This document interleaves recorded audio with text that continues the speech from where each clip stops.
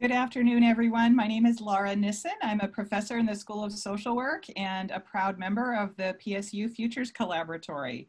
Uh, welcome to today's webinar, Looking Ahead to PSU's Future Now, sponsored by uh, members of the PSU Futures Collaboratory. Um, we welcome you at a time of deep complexity, transition, and opportunity in the world around us. And we're going to talk uh, about that uh, in a little while. Uh, we'd like to welcome you with an acknowledgement of the land that our university uh, sits on. Portland State University is located in the heart of downtown Portland, Oregon in Multnomah County. Today we honor indigenous people whose traditional and ancestral homelands we stand on, the Multnomah, Cathlamet, Clackamas, Tumwater, Watlala bands of the Chinook, Tualatin, Kalapuya, and many other indigenous nations of the Columbia River. It's important to acknowledge these ancestors of this place and to recognize that we are here because of the sacrifices forced upon them. In remembering these communities, we honor their legacy, their lives, and their descendants.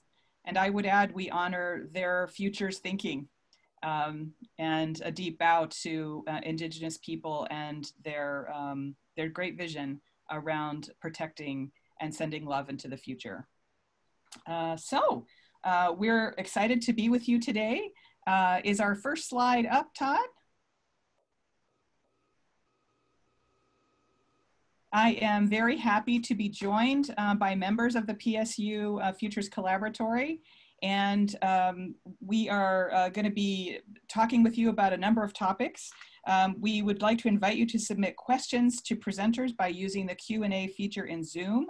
Selected questions will be read aloud and addressed by um, all of us as we're able during a Q&A period. Uh, on-topic questions will be posted and answered on the, on the Futures Collaboratory website, which will be posted in the chat, um, including those that may not be addressed in the session due to limited time. I'm pleased to uh, welcome um, collaboratory members Andre, Andres Guzman, uh, who's the coordinator for equity, diversity, and inclusion in the College of Education, Angela Jackson, who's the executive director of entrepreneurial and industry engagement, Sheila Mullooly, who is learning center manager. Oh, learning center manager in our intensive English language program and a doctoral student here at PSU. Uh, myself and Todd Rosenstiel, who's the Associate Dean of College of Liberal Arts and Sciences. And as we get started this morning, um, everybody wanted to just have a moment to express their own brief reflection of, of what it's felt like and meant to them to be part of the collaboratory this year. So you could get a little window um, into our experience and our lessons and our reflections. Andres, could you begin, please? Hi there. Yes. So my name is Andres Guzman or Andres Guzman, and I always say in the Anglo Saxon version of the word because I think that that's important. and I use he, him, his pronouns. And I just wanted to share very quickly that this group has been really, really energizing um, during these very difficult times and the times that PSU is entering as well. And I think the thing that I really took away from this group was the collaborative efforts that leveraged all of our strengths and skills so beautifully and intimately. And I, it's just an opportunity that i'm so thankful for. So i just wanted to to say that very quickly. Thank you. Thank you andres. Angela? Hi. Uh, welcome everybody. I also just want to talk to you how this experience has really transformed me personally. I come to PSU from somewhat of an outsider perspective. I come from entrepreneurial uh, pursuits, not as an academic. And in some, some ways, I feel like an outsider to academia. And in some ways, I feel that uh, I found my people with the, the Futures Collaboratory. In part, that's because so much of the discipline of Futures is so entrepreneurial and so like entrepreneurialism. Uh, so I hope to continue to contribute and also translate some of this work to our community, businesses, industry, and partners outside of the university. Thank you. Thank you. Sheila? My name is Sheila Mullooly. I use she, her, hers. Um, this has been one of the most engaging and transformational learning um, experiences I've had um, the honor of engaging in. It's really given me a language to reframe what I already had. Um, being a lifelong naturalist, I was that kid who picked up the slug and licked them. Um, starting out in biology, I have active systems thinking. Um, also going on to become a fine artist, I have a lot of background in design thinking.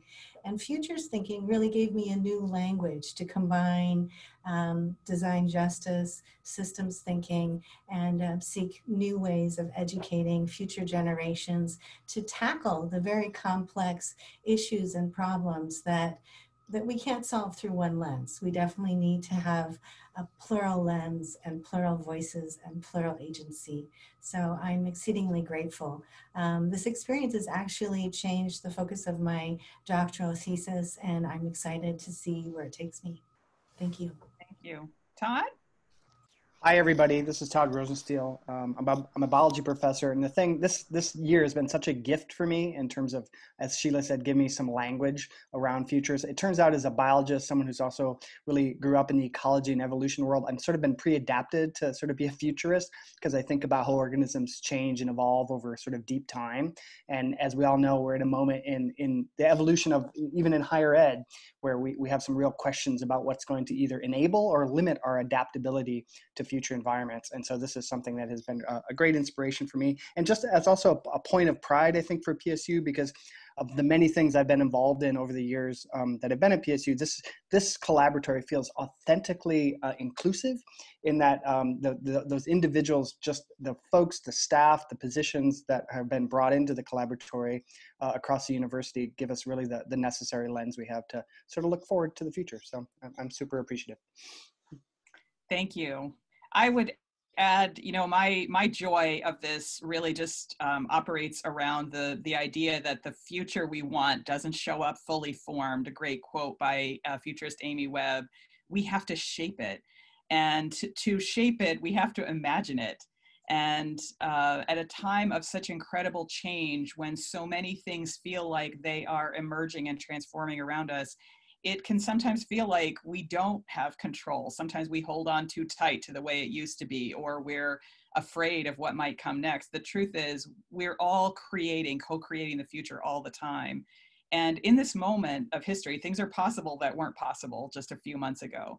Um, how will we take advantage of that opportunity? So, Today, next slide, we're going to talk with you about um, scenarios and some of the work we've done um, in scenarios. By the way, thank you everybody. That was awesome on the panel.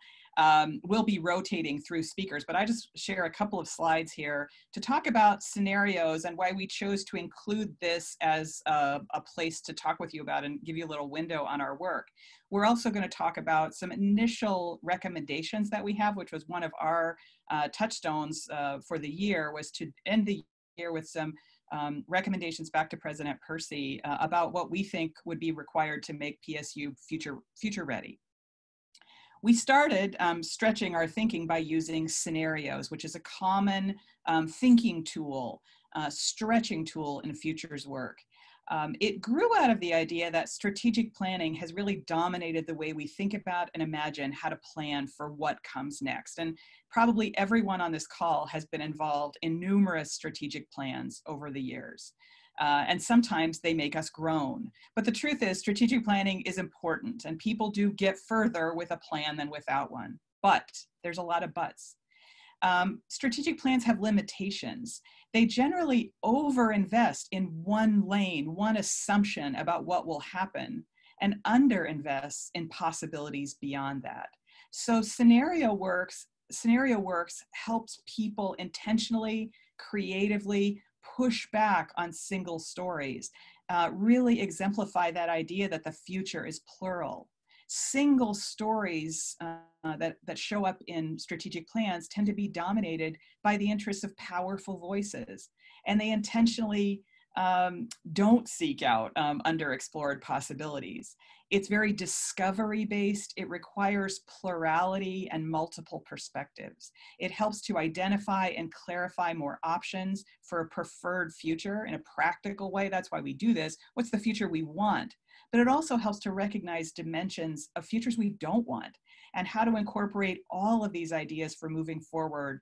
It's inherently more agile and results uh, in in a kind of creativity and also expansiveness that strategic and and agility that strategic planning on its own uh, won't. The ingredients for good uh, uh, uh, strategic or excuse me scenario work are signals trends and and deep imagination along with that plurality of visions next slide please so um, lots of resources. And if you download these slides, and I hope you will after this session, there's a few you can cut and paste from these links and visit several different places where um, future of higher ed is being discussed in deep and broad ways right now. There's so many discussions about higher education being in a transformational space, but also we threw a few others up here. A futurist Leah Zaidi we've done some work with, or a home base that I do a lot of work with, the Institute of the Future.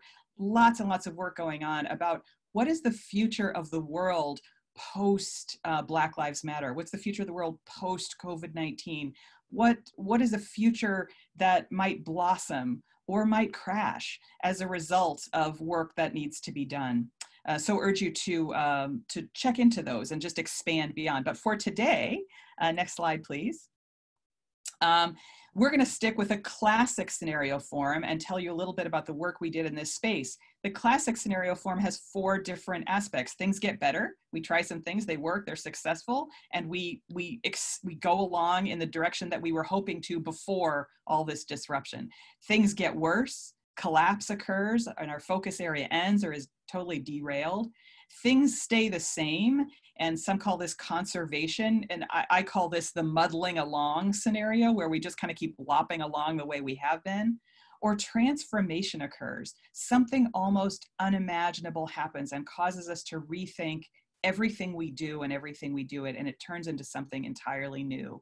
Futurists categorize these scenarios as possible plausible preferred probable plausible and, and even preposterous. Next slide please um, I'm going to turn this over to Sheila now, who's going to tell you uh, some more about our work and how we shaped um, these ideas uh, playfully, mindfully, uh, but with great heart and great um, ideas, great thinking. Sheila?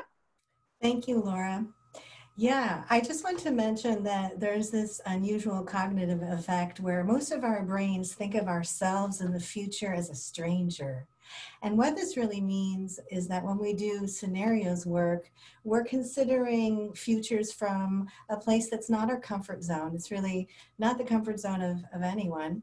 Um, and this is best done collaboratively. In our um, case, this was accompanied with laughter, games, critical question, tears, hand wringing, and a lot of emotions. It really made us feel deeply. I'm going to tell you four stories next. Next slide, please. The first story is a story about improvement. And this improvement does happen, in fact, because some sad things happen. Many small local colleges close. Um, while we do have COVID immunity, perhaps a vaccine in around 18 months, and perhaps more widespread uh, immunity around the globe in perhaps three years, we're very reticent to get on planes. Uh, the focus has really shifted to local ecologies and systems. People want to stay close to their families, their mutual aid systems, and folks decide to really enroll in PCC and PSU. We're able to knock out a seamless transition, and in fact, PSU doubles in size in a fairly rapid amount of time. This is our improve. Moving on to collapse. Um, the most painful story. So the public health crisis intensifies, the virus evolves different strains. We find that folks that do have immunity initially aren't protected and are reinfected. This leads to a massive economic downturn globally and intergenerational effects. And generally, community life stalls out. It's sort of paralyzed indefinitely. PSU then struggles um, we have adjustment fatigue, a lot of turnover. There's involuntary and unplanned reduction of scope and scale, and a lot of pain, death, and suffering. Moving on to the next one the conserve scenario. In this scenario, the cups and the furloughs continue. Um, careful restraint is prioritized. Uh, programs are evaluated, which are under enrolled, which are over enrolled. There are massive cuts. There's a widespread lack of, of staffing and teaching capital, and we're lacking in resources. And yet, despite these circumstances, some good work is done, and we carry on institutionally um, surrounded by many challenges. And then finally, the next scenario is the transform. Imagine PSU's curriculum is completely reimagined. We decide to set the central organizing principle is the world's most challenging and pressing interdisciplinary issues. We prioritize planetary and human health and well-being. Um, and instead of operating out of the usual silos, uh, the curriculum is largely informed by design justice thinking and foresight thinking, and these are applied to the issues that our faculty and learners care most about transforming in our world. PSU then becomes known for this incredibly transformative work, and this becomes our future legacy. Um, we're going to transition now from looking at these scenarios to recommendations that are linked to them. And I'm going to hand this over to Angela Jackson. Thank you, Sheila. So we do this work um, because A, it stretches us and it makes us think in new ways, as Sheila and Laura pointed out. But we also do it because it's innately practical. Um, so if you look at this axis here, if you can go back one for a second, Todd. Um, you know, the world's getting better or it's getting worse. I have influence and agency to the right, or I mean to the left, or I don't to the right. Clearly, uh, being up and to the left in this graph is where people come with choices and a sense of agency around their future. So uh, I think this work that we did together led us all to, you know, in some cases from despair to extreme hope. Uh, go ahead, next slide. In fact, it, it's made all of us think uh, about power in a new way. Um, and I'd like to suggest a new narrative for PSU. It's not a scarcity narrative. We're powerful. We have everything we need. We're empowered. We're perfectly suited for this moment. And that has to do with what has changed even just in the last uh, six to nine months? PSU's inherently networked versus hierarchical structure when compared to similar institutions. I'm sure there's work to do as well. Uh, how power is held by many, uh, not just the one or the few. Uh, this ethic about radical transparency versus competition and closed, closed loop. And the fact that we are co-creating this future together um, not just with the Futures Collaboratory, but we hope broad, more broadly at PSU. Next slide. And it looks a little bit like this. Uh, I think part of why this work spoke to me so much is this is exactly how people think about entrepreneurialism or startups, which is kind of my in my DNA. So uh, it's known that energy uh, moves a lot faster and efficiently through a networked as opposed to a hierarchical approach. So I think that's something that we have an opportunity to continue to do. And that led to my recommendation. Uh, next slide. And I shouldn't say it's my recommendation, it's our recommendation, but it's one that I chose that really resonated with me uh, after the group's work. Um, and it's about social mobility. I'm sure many of you know that PSU is an engine and has been for years that creates positive futures for so many we have recently been measured and declared a top performing school in advancing the social and economic mobility of our students. This collective impact, it's not just good for them, uh, it's good for our city and our state. The vast majority of our students come from and stay in our state. The cost of creating that kind of continuity and stability and generation potential and localizing it is very high. We're doing that job. We, we are resilient and we have entrepreneurialism in our DNA. We're perfectly suited for this task. We're already doing it. What we can do better. We could intentionally fortify our strengths, organize around them, clearly communicate them, and claim our space as our state's economic and social mobility engine. We could quantify better the massive conveyance of societal benefits that this produces. Uh, we can also seek and need to seek new financial models and partners so that what if we were compensated for this service to society in a new, a new way? Our ultimate product is an engaged, empowered citizenry that creates not just solutions, but wealth. Wealth and abundance that is more equitably shared than we could have ever imagined. Thank you. Our next recommendation is around becoming a sustainable learning organization. At this point, when we readily refer to the lessons learned of 1918, 1930, and 1968, it's abundantly clear that one lens is not going to be enough. Um, we need to we need to think beyond the decadence of disciplines in order to address the volatile, uncertain, complex, and ambiguous world that surrounds us. In becoming a learning organization, PSU considers full spectrum futures.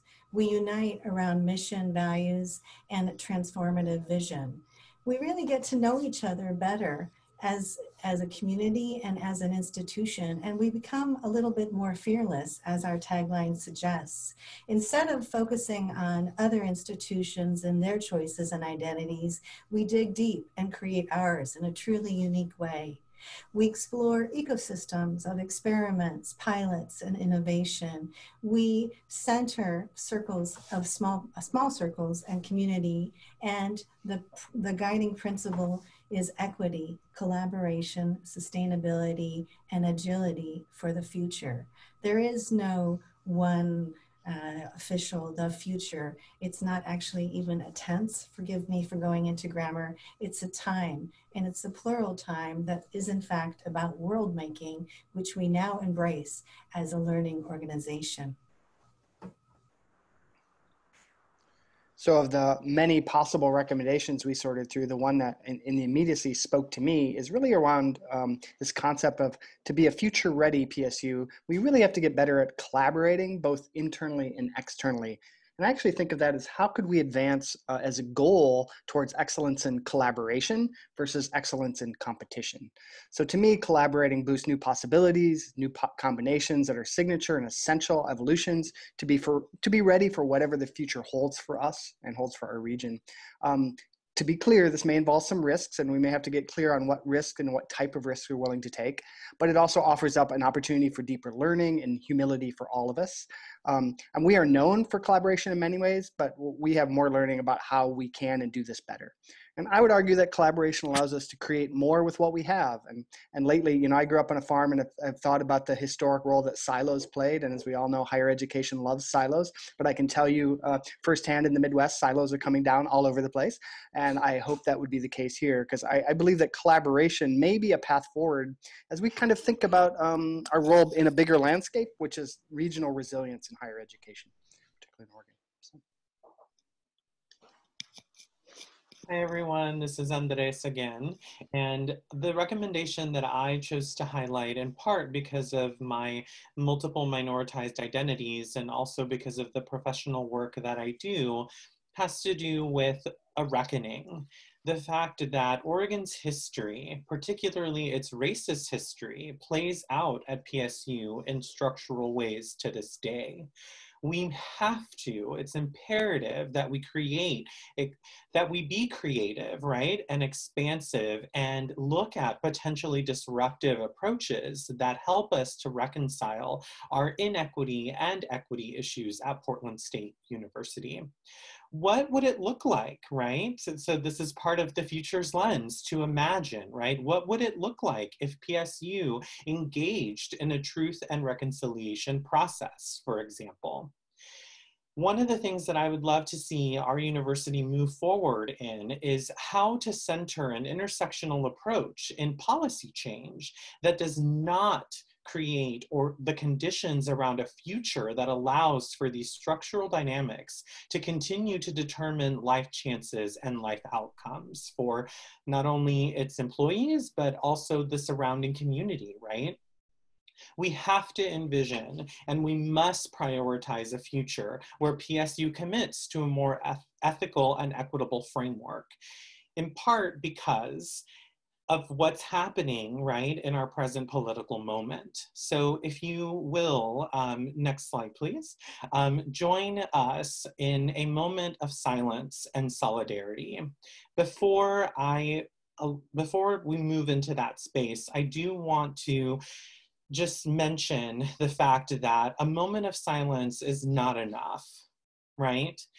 We have to think about the ways in which we are plugging into the kinds of social actions that are happening around the world and in this country and in our city as well. So I invite you to, in this moment of silence, to think about the different ways in which you could get plugged into the protests that are happening around the city, that you please resource organizations that are aimed at protecting Black life and that you continue to have conversations with your closed your closed ones and your community as well to think about ways in which we can envision that future where PSU and the world commits to a more ethical and equitable framework.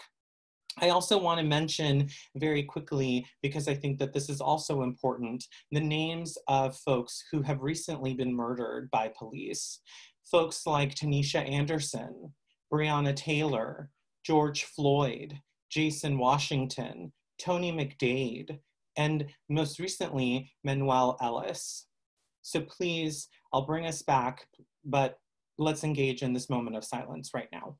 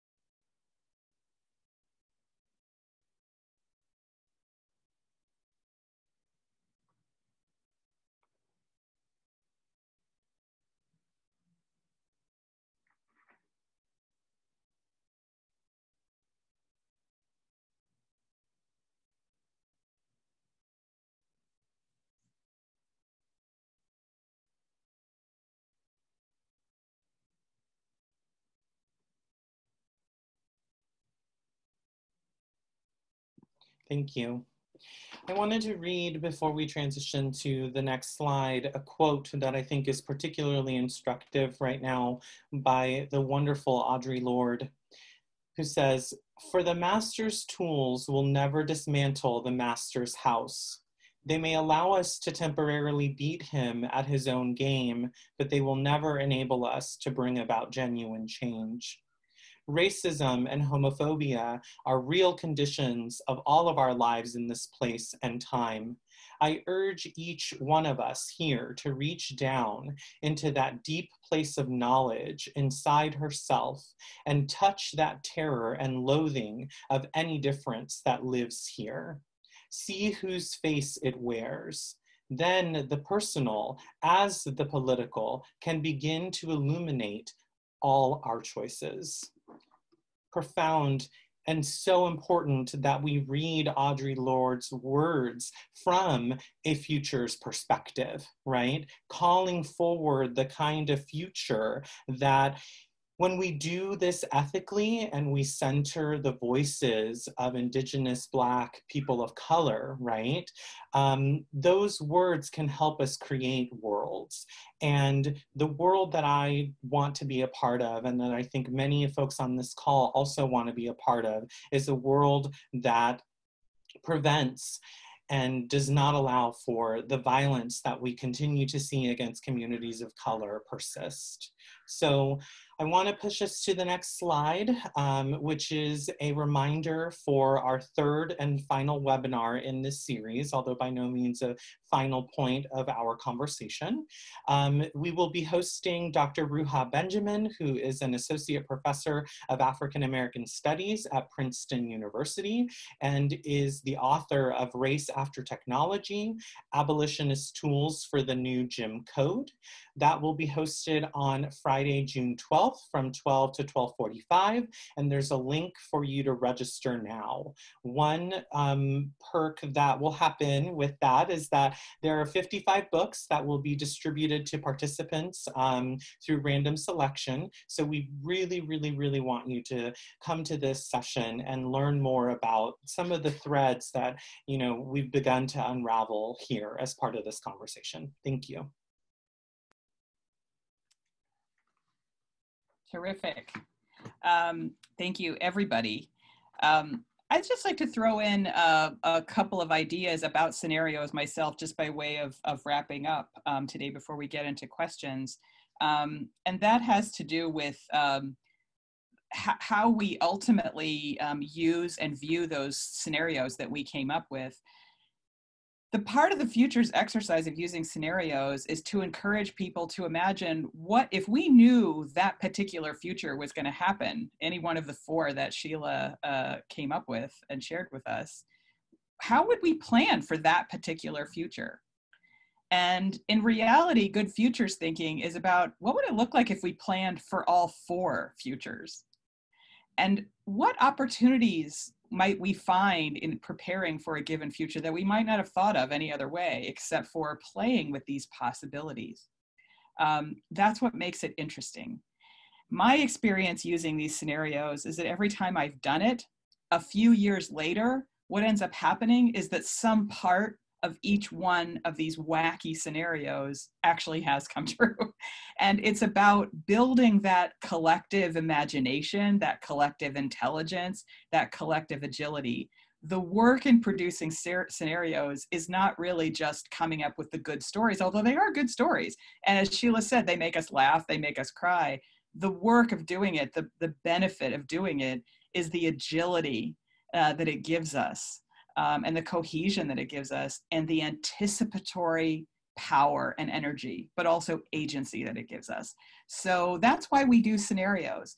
And what we really want to do is invite um, all of you listening um, into the process of thinking about the future with us, thinking about the future of PSU and growing our campus wide dialogue in the same way that we've been having so much fun um, doing internally how do we grow our campus wide capacity to answer the question what does it mean for PSU to be future ready? What does that look like in all its many interpretations and voices and positions and identities? What does it mean for our community, our beloved community, um, to really be ready? So, um, with that, I would love to invite um, some questions um, from the group. Do we have any questions? I do not see any piping up. Um, I think Kurt has some collected, but I can't access them. So maybe uh, Kurt could. Mm-hmm. Why don't I ask them on behalf of the group? So uh, the first question is, have any of the scenarios you presented today been shared with or endorsed by the PSU administration? I can start and then other people can pipe in. So it was part of our charge, as we talked about in the last webinar, it was part of our charge to work together to prepare a list of recommendations for President Percy at the end of the academic year. And I just want to, you know, in a moment of solidarity with everyone listening, if you're part of the PSU community, it's been complicated, right, the last few months. So we, like all of you, have been adjusting to a new reality and working from home and juggling all the things and, you know, slamming into walls occasionally when the thing we thought we were going to do isn't going to happen that way. So in the midst of all of that, we continued to gather and support each other and explore. And also, by the way, listen to lots of futures talk because there's a lot happening. The, the futures enterprise writ large globally is very busy right now, as you can imagine in, in a lot of exciting ways. Um, we, we, these have not been presented to or endorsed by PSU as yet. Um, we will be, we're calling a meeting, we're actually working on getting it scheduled right now as planned to sit down with President Percy as a body and share both these scenarios and our recommendations um, with him um, and have a thoughtful dialogue. But I do know that um, PSU administration, as well as um, PSU Faculty Senate, have been so um, supportive and interested in what we're doing. And I think I, I, I feel a great sense of um, dialogue um, that is beginning to happen in some new ways that as a 20 year member of the PSU community, I, have not experienced before. So uh, my, my answer to the question is not yet, but we're preparing to. And they're starting, they're start, starting point. They're not intended to be a, an ending point. Uh, we need all of you who are listening to this call and all your colleagues to join us before we would ever say we made final recommendations. But what do others think about that question? Yeah, I'll, I'll jump in. I mean, we, as a collaboratory, we've, we assembled a really amazingly comprehensive list of recommendations, let's say that. And I, I, think what we've just tried to capture here is each of us on the panel simply chose a recommendation that most, perhaps most resonates and speaks to us each individually. And I think that's sort of the beauty of the sort of collective power of cognitive diversity uh, when having these really interesting future looking conversations. So, um, so I, I hope people will take these as sort of uh, for each of us as individuals participating in this conversation, these are things that spoke to us. And I think our challenge then, as we assemble the the bulk of recommendations to the institution and to provide to President Percy is like, how then do we have a process that distills those down? And so that we can begin to understand what are some of those perhaps concrete or actionable next steps that will take us to the future that we want. So that's what I would say. Anyone else?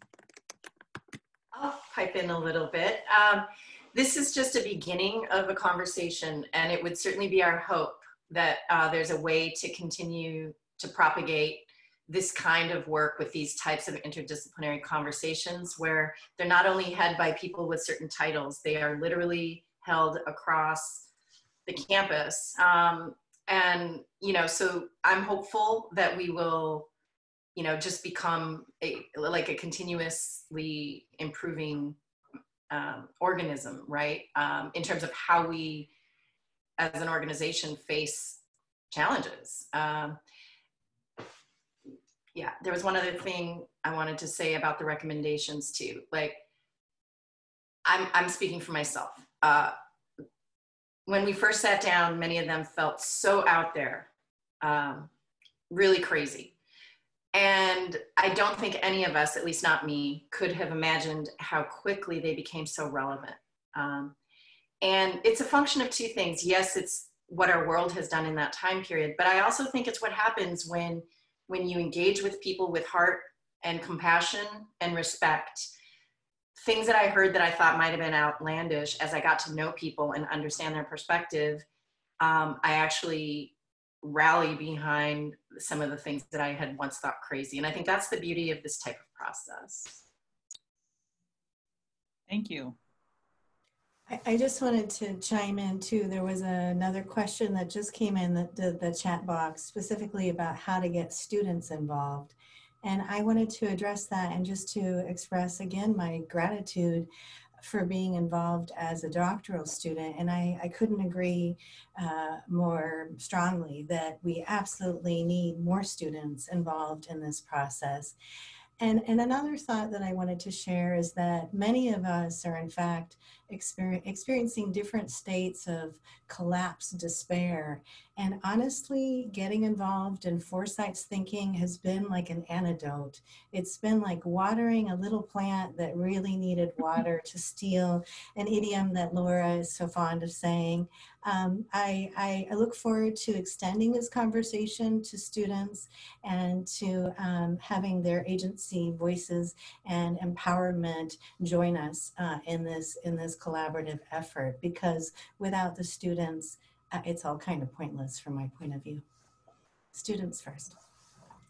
We are working on a few um, sort of traditional academic learning lanes so some some classes some certificates those kinds of things but what's more important to me in the way that this is talked about um, in the futures world is to say how do we build organizational foresightfulness build this throughout the organization so that we really have lots of ways for people to dialogue to connect to learn and so we'll be we've been experimenting and playing with a lot of those things in the collaboratory but next year we're looking at really expanding those um, and so, Sarah, thank you for the question. And I, I think uh, one of our, well, several of our collaboratory members are very connected to students.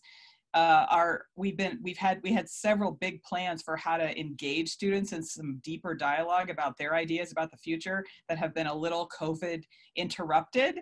But we're get we we have deep intentionality about um, spending lots of time with students to hear their perspectives and I can tell you, as a person who's been doing this for the last few years, I have presented very similar information and done some, you know, learning activities with students. And um, my experience has been A, they love it, and B, they get really mad that they're not getting more of it. so um, my sense is our students are, are all, our students know they're living in the future. Um, and they, I think giving that this language, this framework, this launch pad to really explicitly saying, you know, if you're 22 years old right now and you're getting your undergraduate degree, the arc of your life and your career is going to include profound challenges and opportunities, the likes of which we can scarcely wrap our brains around at this moment. How do we, quote unquote, educate students um, for that kind of uncertain landscape that's coming? and I think that's where the really creative work comes in. Um, less about filling up a satchel of knowledge and more about helping to prepare students to participate, I think, creatively and with agency in just this rapidly changing world. So I don't know if others, Andres, Todd, Angela, thoughts about that involving students? I just think yeah. you've kind of given us a maybe a, a, next charge a little bit in terms of also where we have a real role to play in in educating the future. So like you know, I mean, part of it is the education of you know getting the societal outcomes we want, which yeah. means we need everyone to be more future ready and future equipped. So I think this is a would be a great uh, opportunity for PSU to provide some leadership there. Yeah, and I, I would just jump in very quickly to say, you know, as Laura mentioned about um, some of our projects, and one of them was a student survey um, where we wanted to solicit, you know, their feedback and their ideas around that very question. And so I've asked that we please um, include a link to that survey in the chat so that you can also distribute it to your students so that, you know, they have the opportunity to really drive this conversation. So um, if we could get that in there, that would be awesome. Thank you. Uh, just a couple more minutes. Are there any other questions that we might be able to answer uh, just with the minute we have left? We are very interested in who's on the call with us today. We will be having a, a little survey uh, of, that's available, an evaluation of this session, which I think is going to be posted in the chat. And we would just love to hear from you, um, what brought you here today, what you're interested in, and if you'd like to be involved. Um, we'd also love to just welcome you to our home base website uh, where we've lots of information about the, all the different meetings that we've had, the futurists that we've met, the kinds of projects we're engaged in. And um, we will continue to be populating that site with lots of other information as the year winds up. But um, I think uh, I don't see any other questions right now. Any anything else?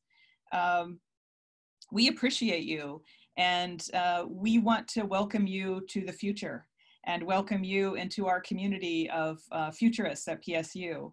Um, futures practice is wide open. Uh, there's never been a more important time to learn sort of new skills uh, for facing a new age. So thank you so much, everyone, and thank you to all the panelists. It's always a pleasure and an honor to um, be part of a, a, any event with all of you. So um, thank you, and, and big thanks to all the rest of the collaboratory members. You can learn about all of them on the website. Uh, thank you to PSU and all the tech folks behind the scenes uh, helping to make this happen. Uh, thank you all so much. Have a beautiful day and uh, Black Lives Matter. Let's go. Let's get out there and get some work done. Thanks everybody.